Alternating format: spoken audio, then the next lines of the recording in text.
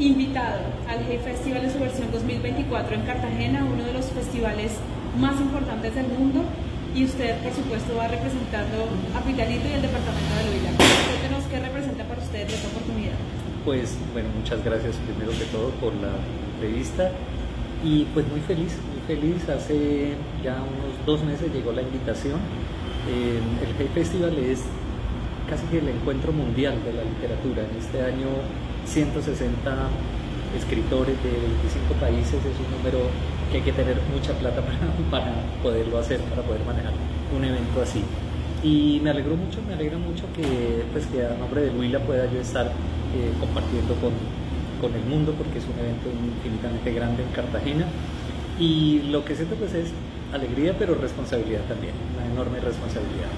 Bueno, ¿cómo se da esta invitación? Pues fíjate que la, la obra es la que se encarga. O sea, yo, yo creo que uno eh, eh, ha hecho una parte, ya, pero eh, la obra se encarga de ir abriendo ese camino. Uno está en una conferencia y, y, posiblemente haya alguien escuchándolo, haya alguien que quiera, que diga, yo quiero esa persona en mi evento y que me hable de ese tema en particular. Y de otro lado las editoriales. Las editoriales son tus representantes y ellos eh, están, es a ellos a quienes acuden eventos como estos para poder decir, bueno, a quienes invitamos. En mi caso particular, pues eh, las editoriales pues, que son las más grandes realmente del, país, eh, siempre están ahí, siempre están muy pendientes, siempre están como moviendo mm, y, moviendo, moviendo contactos, cosas a uno lo que hacen es como llegarle las invitaciones y uno pues trata de, cumplir esas agendas y poder atender a, pues, atenderlos a todos en la medida de lo posible. ¿Cuál será su agenda en este Festival?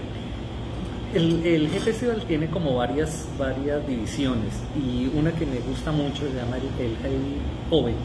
Es específicamente para la comunidad universitaria que es un nivel pues bien, bien especial.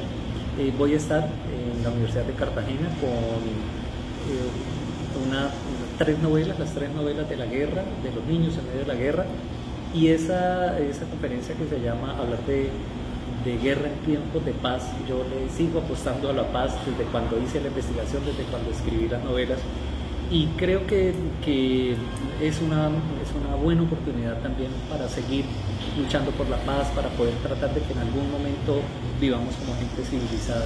Eso será en la Universidad de Cartagena, estaré en dos ocasiones. Luego tengo el high comunitario, que me, gusta mucho, porque son estos eh, encuentros que uno tiene con comunidades marginales, con comunidades muy pobres, pero donde te han leído. Y en mi caso particular, el, eh, libro que, que, los niños han leído es El último viaje de Bachir, que me parece muy curioso porque el último viaje de Bachir es es muy pitalito, o sea, pasa el pitalito por personajes del pitalito viejo, pero los niños sí que han querido, han querido ese libro.